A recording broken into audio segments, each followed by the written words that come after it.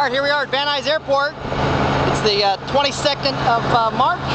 And it's Howard Lewis, an old Army National Guard buddy. And uh, Fire 4 is going to take off on a training flight. Got Sue Larry, got 10 of the Explorers here. And uh, you can see, this is the old guard ramp. And this is their new facility. LAPD's around the corner. And there's all the news media.